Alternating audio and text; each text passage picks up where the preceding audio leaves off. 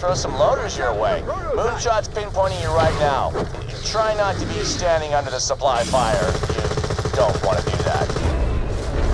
Why are these assholes still fighting? Their leader's history. Why not kick back, take a break, go see the sights? Yeah, never mind, we'll wipe them out soon enough. That'll be the sight. Oh, oh yeah, I'm on.